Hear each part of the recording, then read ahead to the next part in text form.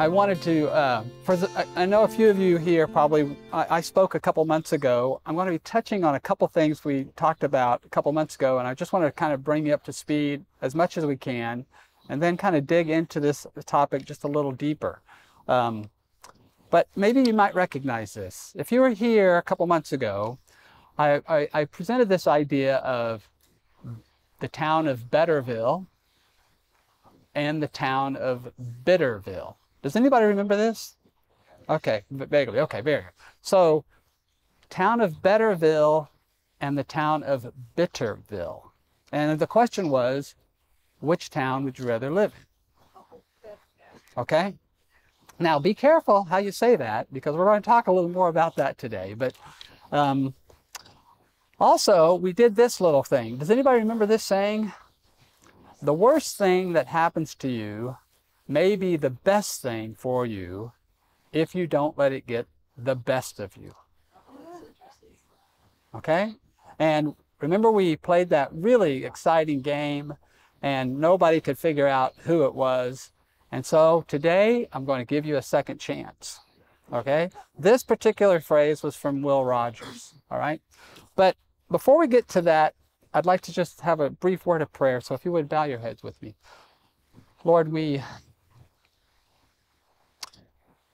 we look at these two towns and we think of Betterville and Bitterville, and um, it's pretty clear when we compare the two which one we'd like to live in. And yet, if I'm honest with myself, I realize I live in the Bitterville town way too often. And I imagine there's others here who perhaps are in that same situation. But we, won't, we don't want to live there any longer. We, we want to live in Betterville. And we want your help. We need your help. And I think there's some guidance that uh, you've given us to help us move in that direction and make that our permanent residence. And so I just ask and seek your guidance as we explore this topic today and help open our hearts and minds to maybe some things that are not so clear or maybe are hidden a little from us that um, could possibly make a big difference. And I pray this in Jesus' name. Amen. Okay, so here we go. We have a small delegation in the far left section, but we're going to need a representative from your from your section. So who would like to be the classic representative from your area? Okay, we need one person from your area. Now here's the thing we're doing. We're playing a game called 20 questions. Okay, 20 questions and you and and the clue is I am a person.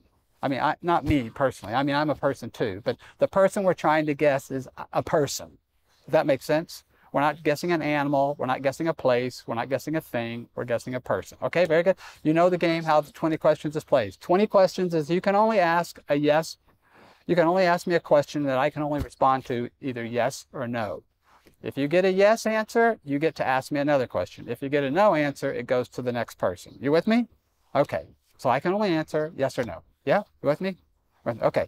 Who's your representative over here? Dan? Okay, very good. Dan, who will we have in this section?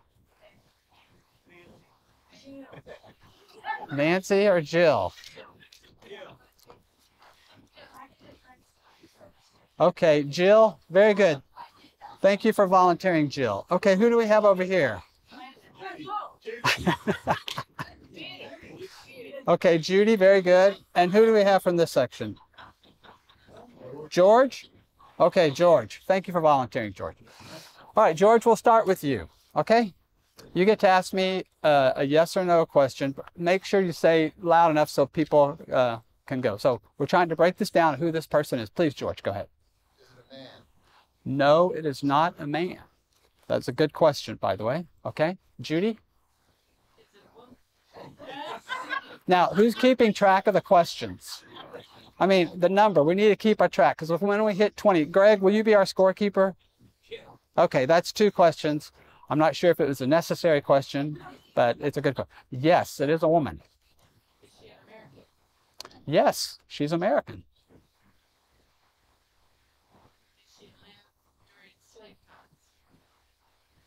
Did she live during slave times? No, she did not live during slave. I mean, are you talking about slavery here in the United States? Okay, very good. No. Okay, Jill. Is she alive today?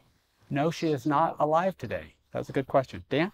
Is she from Texas or Oklahoma? She is not from Texas or Oklahoma. Okay, George? Was she born after She was not born after 1900. Is she the wife of the president? She is not a wife of a president. Is she an author?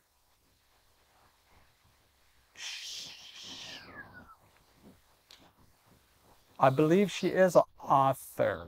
I I'll give you another question. I'm pretty I think she is. It'll probably become clear once you guys find out who she is and you'll go, oh yes, okay. But um I that's i I'm not sure. I think she is, but I'm not sure. Go ahead, ask another one.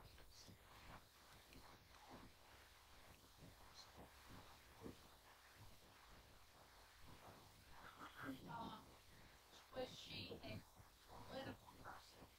Known for following political. No. Okay. Is she a Christian? Yes. Is she Caucasian? Yes. Is she Caucasian? Was she a Christian and is she Caucasian? Yes and yes. She Adventist? No, she was not Adventist. Okay. Uh, was she, was she born before 1800? So I'm going to give you the benefit because Judy asked me if she was alive during slavery. And I think slavery ended officially like in 1860 something. So I will say, I'll, I'll give you another question. So, so she wasn't alive during any, yeah. Does that help?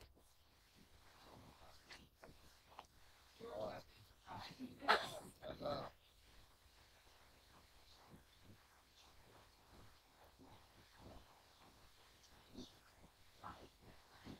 was she known for her profession? Was she known for her profession? No. No, I mean, you might reckon it, but no, she was not. Judy. Oh, how many? Five left? Five more questions, okay?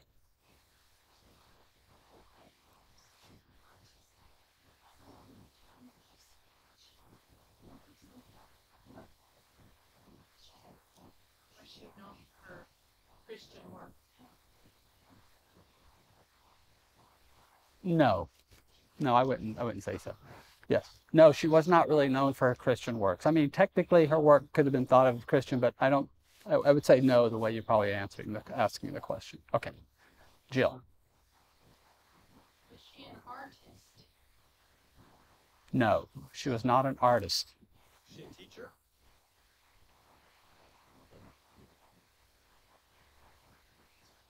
No, she wasn't a teacher.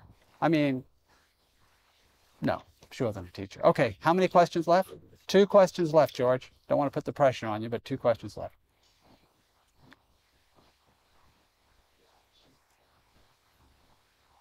Was her husband famous? No. And I'll, I'll give you, I'll even, well, no, she wasn't. famous. Okay, this is our last question, Greg. Is this right? This is number 20. Was she a poet? Mm, No, I don't. I mean, she may have been a poet, but she's not really known for her poetry that I'm aware of. Okay. All right. I'm I'm opening to um, I'm open to anybody who think they might know who didn't have get to ask a question. Anybody? Huh? Pardon? No, no. I'll give you a couple clues. Uh, she was born in 1880. Um, she was never married. um, if I give these two clues, you'll guess it right away. Oh, she was born in Alabama. Huh? Who? Helen Keller. Helen Keller. She didn't know. She did not know. Helen Keller. So it says she was an author. I don't know if most of us think of her as an author. Teacher. She was a speaker. I guess she could be a teacher. But what do we know about Helen Keller, right? We know that she was blind and deaf. Blind and deaf. Apparently, the way I understand the story was that she received had a sickness when she was about a year and a half old that caused her blindness and her lack of being able to hear. Interesting, when I was looking through this, some of you might, may know this story, but she had a teacher that really brought her into this whole experience of learning, whose name was Anne Sullivan. And this picture, believe it or not, was only discovered in 2008, well after her death. It was in somebody's scrapbook that they had kept in their family. And this is pa- apparently the first photo of Helen on the left when she was eight years old with her teacher, Anne Sullivan. This is the very first picture of them together, apparently. And I have a video here. Caleb, are we going to be able to do this? I This is a video that Caleb's going to play for us that I had never seen this before, and I just wanted to give you a little sight. I think it's about a minute and a half long. We'll see if he can get it queued up for us, and we'll watch it together.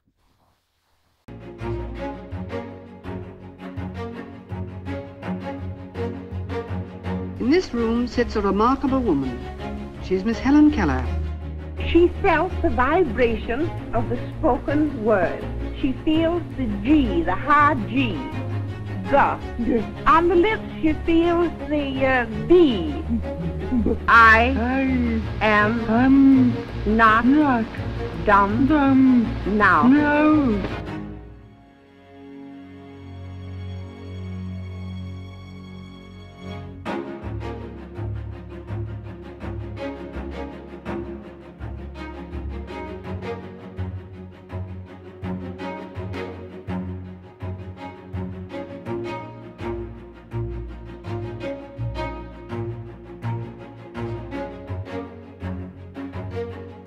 W-A-T-E-R, water. It has a name.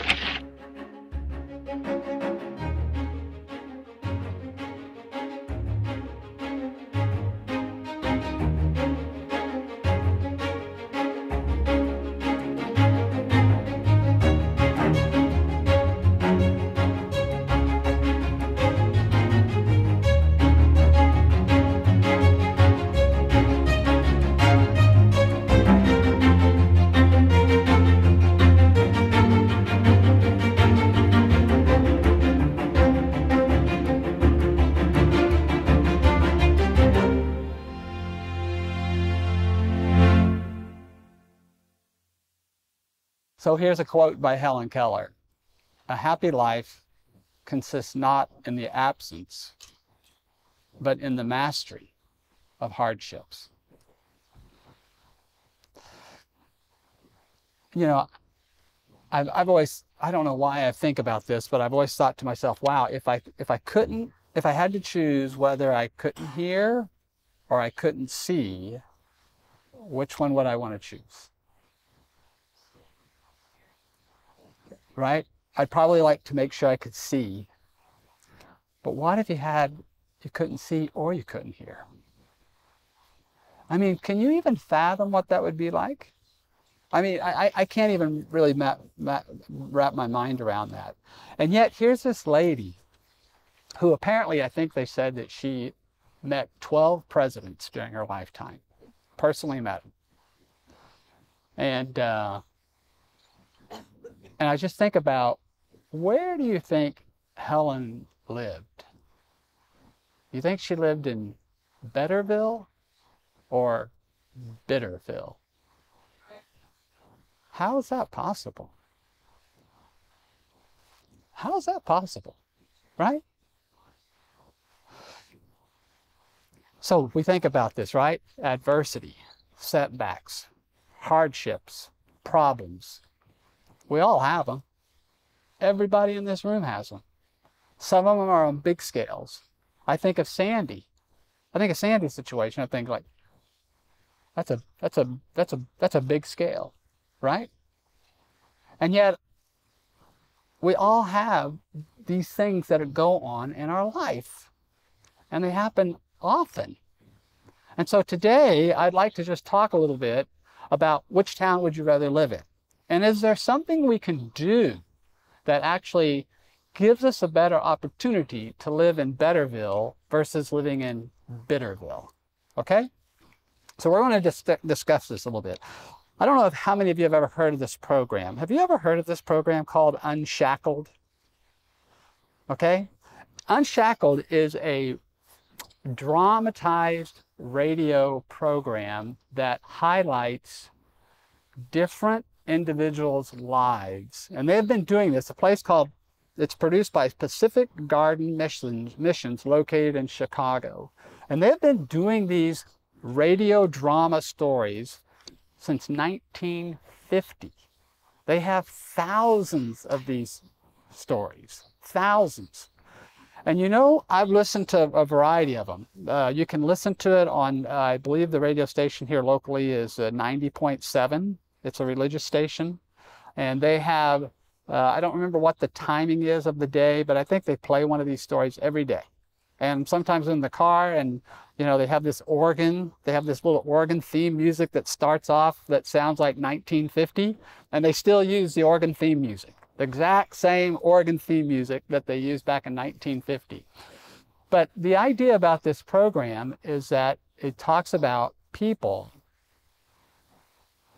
And I find that this has been always the case, at least in every story I've heard, that these stories are about people who have big problems. Big problems, right? I mean, they're raised in a certain situation, a very bad upbringing. Most of the time, they get into drug abuse. Most of the time, they've been in prison. Most of the time, you know what I'm saying? Just this this kind of run of the mill. Eh, it's just like these the stories are pattern after pattern after pattern. Different names, different people, different ages, different time frame, but the the story has a very similar pattern to it. And what happens is that it's about real people, real life stories stirring dramatic accounts of hopelessness. These people are hopeless. And they find hope that changes everything.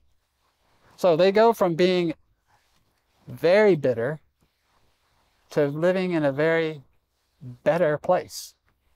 And they, they do it all, they, they all do it basically by the same way. You know what the same way is? They find hope that changes everything, and that hope is Jesus Christ.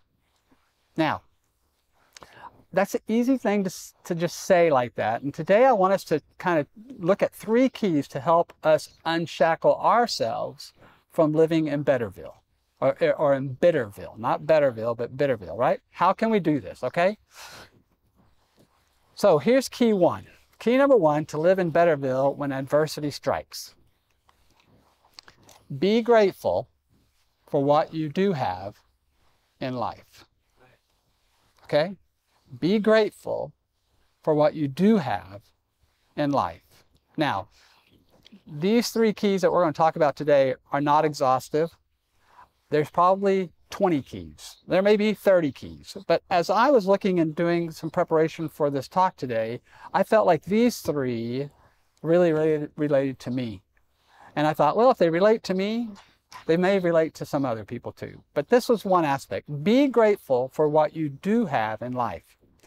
And there's a, there's a text that kind of goes right along this with along with this, and it's found in 1 Thessalonians 5:18. And it says, "In everything give thanks, for this is the will of God in Christ Jesus concerning you."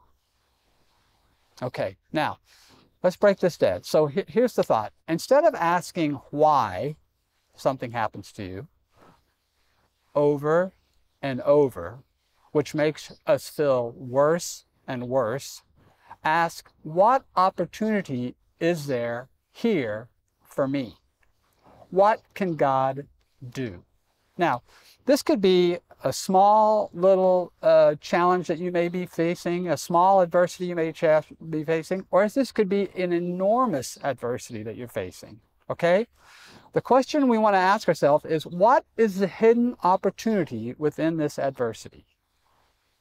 What is the hidden opportunity? Because here's the thing if we saw opportunity every time we had adversity, then we might be more to welcoming adversity. Oh, there's a there's an opportunity here. But I don't think that's how most of us feel when it, when adversity strikes, right?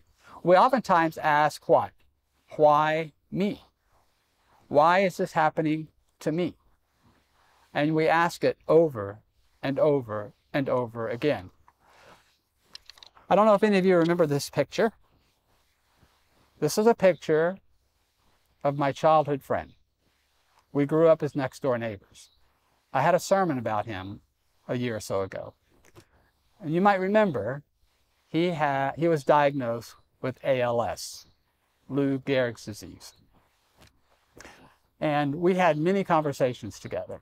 And every time I had an opportunity to go back to Texas, I would go and see him. And, you know, every time I saw him, he was a little worse, and a little worse, and a little worse, and a little worse. And I'll be honest with you, I myself lived a bit in Bitterville regarding his situation. I was asking the question, why? And I know he was too. And, you know, the, the challenge was, and I think if maybe if I mentioned to you, um, shortly after his diagnosis, within several months, uh, his wife divorced him. So, um, why? Why? Why? Right?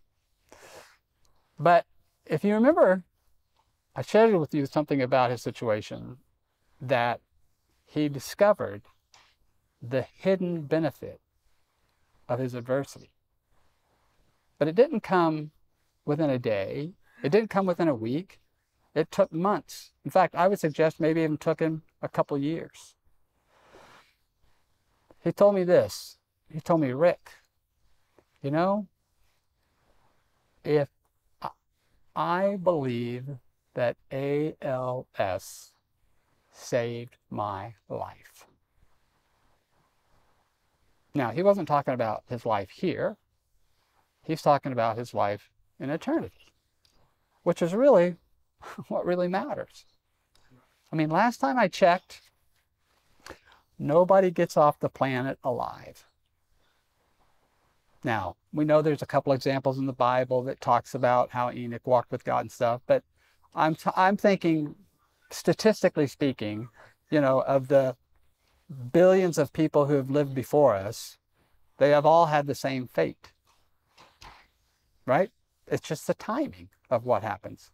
But here's my thought as Christians, as God followers, we have we have a chance to have a different perspective on this whole thing because we know that life here is temporary at best.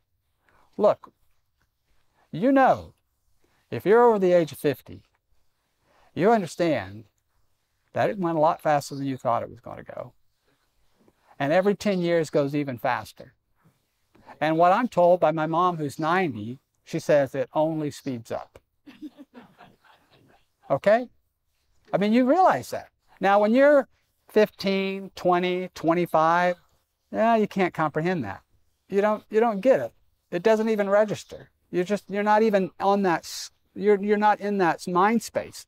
But you know, if you're honest with yourself, it gets faster and faster and faster. So here's our situation. Where we are right now is temporary. This is our temporary home. This isn't home home. And so when my friend talks about things like this, I thought, you know, here he is, and he is at peace. He's at peace. Friends, when you're at peace, that's a classic description of one of the things that happens to us when we live in Betterville. Betterville is peaceful. And even when you are in a very difficult situation, you can actually be there. I knew this kid from when I was six years old. I mean, we did everything together. And when he tells me this, I believe him. Okay, so that's key number one. Key number two to live in Betterville when adversity strikes is stop complaining. Okay? Stop complaining. In Philippians 2:14, it says, "Do all things without complaining and disputing." Now, I have to admit, I don't always live in Betterville. Oftentimes I find myself living in Bitterville. Okay? But here's what I want us to, I, I would like to at least encourage you to think about.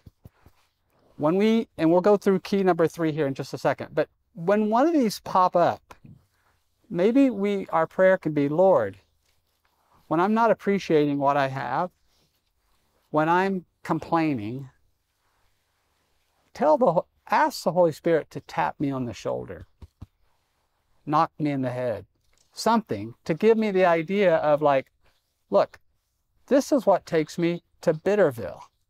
But I don't want to live in Bitterville. I want to live in Betterville, right? Okay, so I'll give you an, a, an example. Instead of whining about how bad you have been treated or how bad your life is, why not count your blessings? Okay, my tooth. So, about two months ago, I noticed I was having a problem with the molar that's right here on the top part of my mouth. And it was getting worse. Maybe it's three months ago. And it was getting worse. It was getting worse. So I thought, well, I don't really like going to the dentist, but I probably should go. So I went to the dentist. The dentist looks at it. She goes, I'm kind of concerned about that tooth. She goes, I really think, uh, I don't think it's going to be eligible to have a crown put on because it was splitting. The tooth was splitting. I think, you know, I think I would like to refer you to someone called, I think it's called a periodontist. Yeah, these are the people who do more extensive stuff. So I got to take a nice little trip up to uh, Midwest City, went to a periodontist and sit down and she looks at me and she's looking things over and she goes, within just a couple minutes, she says, we're going to have to take that tooth out. Now I can tell you that I didn't like that response. That wasn't the response I was looking for. And yet, I knew that she was right. But as I'm driving home, I'm not living in Bitterville. I'm not, I'm living in Bitterville, okay? I'm living in Bitterville. I'm living in Bitterville. Why is this happening to me? I, you know, I mean, I floss my teeth. My wife never flosses her teeth. She doesn't have any cavities. I don't mean that. I don't mean that in a bad way, Viv. I'm talking about not every day after every meal. That's what I meant. I didn't mean never. I hope you guys didn't get that wrong, okay? I'm just saying I take care of my teeth so much better than my wife takes care of her teeth. Okay? I'm just saying, I'm just saying, Vivian, is this true? Don't I brush my teeth? Don't I floss my teeth better? Don't you think so? Okay, but you see where I'm at? Here I am. I'm in Bitterville. I'm in trouble now. I'm in it. But here's the thing. In other words, why is this happening to me? I mean, why is this happening? Right? So, I mean, I'm just in this little circle. And believe it or not, I'm thinking about this as I'm already know I'm planning on what I'm going to talk about here at church. I've been thinking about this for a couple months. Okay, this talk. And I'm sitting here going like, what? I mean, why did I have to go down this path talking about Betterville and Bitterville? And then the Lord thought, well, Rick, let's give you a good illustration to use in your sermon. No, I don't believe that. I don't believe that. But here's the thing. The thought is, is that I was bitter. So about three weeks ago, I went to the dentist down in Ardmore and they took my tooth out. And as I was sitting there, I'm going, you know, I'm glad I had a dentist that could do this for me. And I'm glad that this tooth now it wasn't it wasn't in good shape. They couldn't save it. She's told me even when she took it out, she goes, "You know what? I hardly ever see a tooth that splits down the middle just like this." She goes, "Do you want to see it?" I go, "No, I really don't want to see it." Even though that tooth had given me many happy years of enjoyment of eating and chewing and all this kind of things, I really just didn't want to see the tooth. I'm not uh, okay. But here's the thing: the thought is, is that I had a place to go for help. There was already starting to have a little pain at the top of that tooth. The pain is now gone. The lady who did the procedure was very nice. I felt like I was handled very uh, carefully, right? You see what I'm saying? I mean, I- all of a sudden, my mind starts shifting to not complaining about the situation, but giving thanks for being able to have the ability to have this taken care of. And guess what? Just by that one small shift, it shifts me from what? Bitterville to Betterville. It's not complicated, I find myself can I can get into this kind of stuck rut sometimes. And I just keep in this loop. And I think the Lord's saying, no, no, that's why there's really you don't need to be complaining about this. You need to be giving thanks that you had the care to be given to you at the time you needed it. All right. Key three to live in better Bitterville, Betterville when adversity strikes. Okay, here we go. Forgiveness. I'll tell you. This, this one, well, let me just let me just share with you. Ephesians 4, 31 through 32. Let all bitterness and wrath and anger and clamor and slander be put away from you with all malice and be kind to one another, tenderhearted, forgiving one another as God in Christ forgave you. Forgiveness. Here's a quote that I ran across as I was looking through this that I thought was really pretty amazing. Forgiving can be extremely beneficial for you. You know? Think about the idea. I don't know, but think about this. Listen to this quote just for a second. When you hold resentment toward another, you are bound to that person or condition by an emotional link that is stronger than steel. Forgiveness is the only way to dissolve that link and get free. Now, I, I went back and I highlighted the, I thought what, what some of the real key things. When we hold resentment, we are bound. We are bound in a way that is stronger than steel. Imagine that for a second. Oh no, I can't forgive that person. Do you know what that person did to me? It doesn't mean you have to forget. I'm not saying you have to forget, okay? But the idea of when we harbor in our spirit an unforgiving mindset, it, it hurts us more than it hurts the person that we have that feeling towards. It's, it's, it's terrible. And get this forgiveness is the only way to dissolve it and to get free. Before I move to Sonia's story, I want to I want to just share with you one thought. I know some of you know me and you know this story. Some of you probably have never heard this story. But it was about 20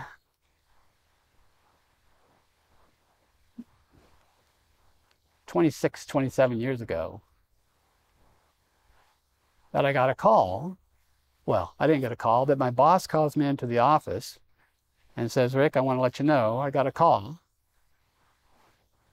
that your dad has died.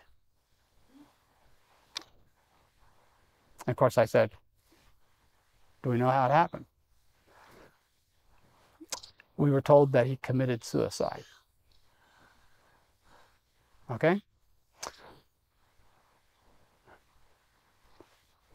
This whole forgiveness thing is tough.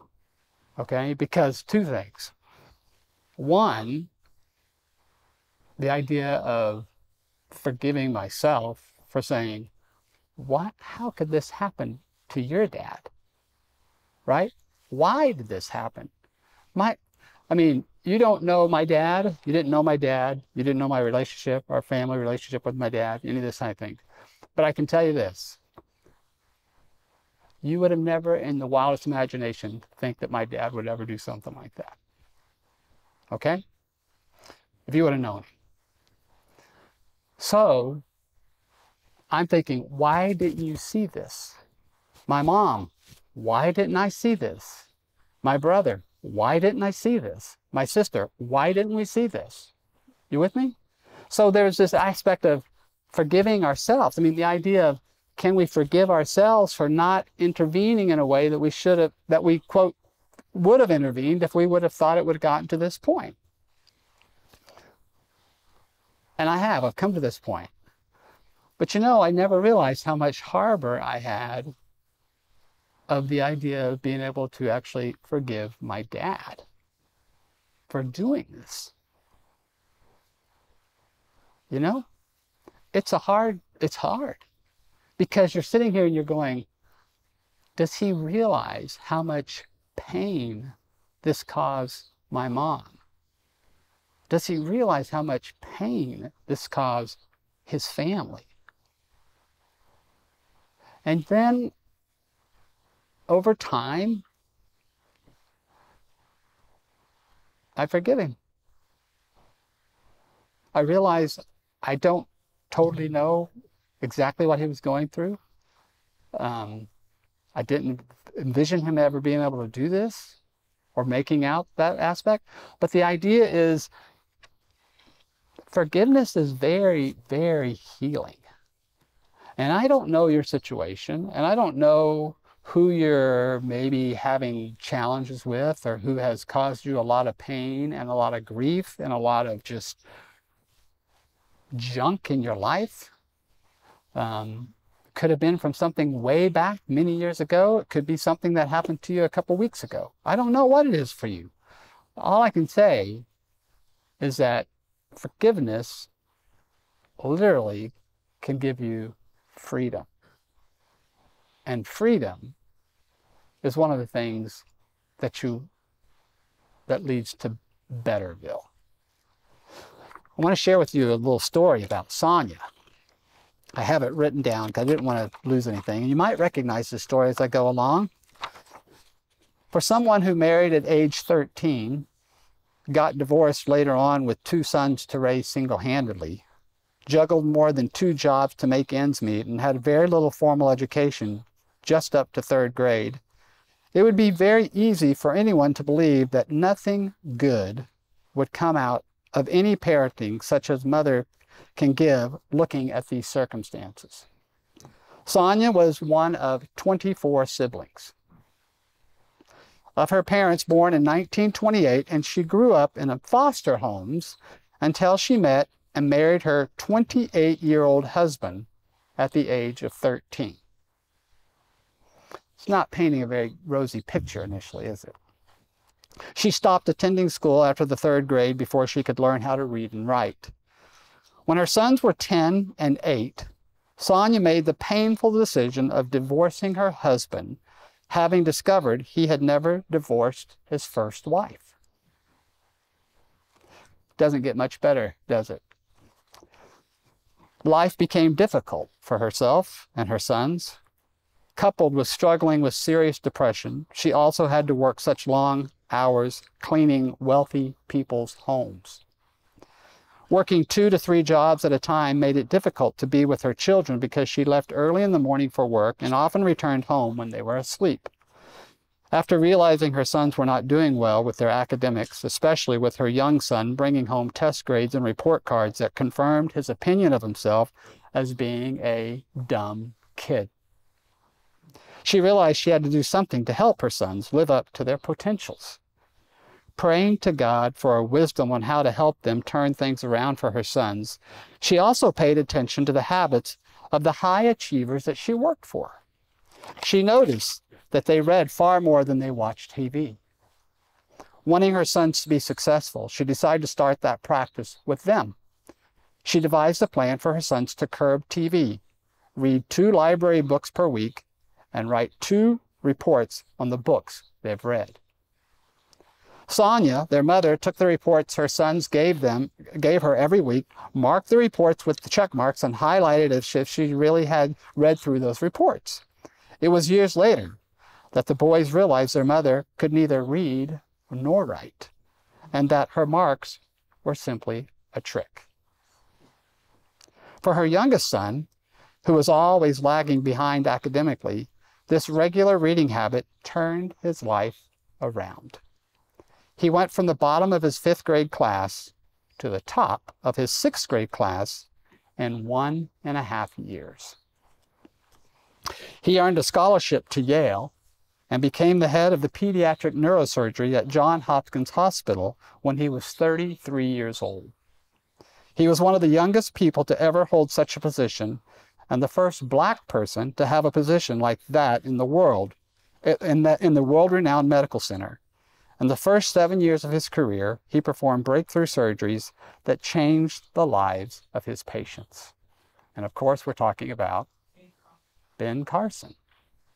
Sonia Carson, the mother of Ben Carson. So, what do you think?